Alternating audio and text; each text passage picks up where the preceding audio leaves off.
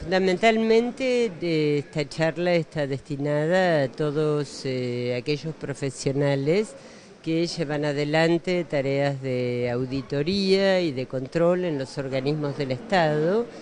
Y, bueno, y nosotros venimos desde el Instituto Nacional de Estadística y Censos a presentar eh, lo que es la producción de estadísticas oficiales y nuestro posicionamiento respecto a lo que deben ser las auditorías como forma de colaborar en la gestión y en el fortalecimiento del Estado.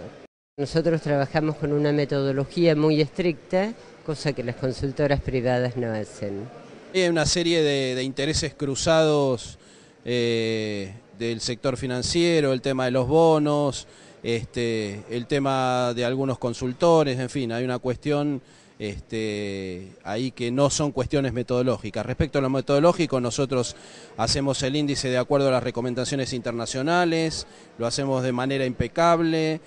Nosotros tuvimos acceso a las metodologías con las cuales algunas consultoras privadas realizan sus mediciones y la verdad que no, no, no revisten el menor análisis, digamos, no cumplen ninguna pauta eh, científica toman unos pocos precios por internet, en la mayoría de los casos, con diferencias, ¿no? con matices entre cada una, pero en general no responden a ninguna pauta eh, de las que corresponden para tomar índices de precios y toman unos, pocos precios en la ciudad de Buenos Aires y con eso predican sobre la inflación del país. La verdad que, que no, no tiene ningún sustento.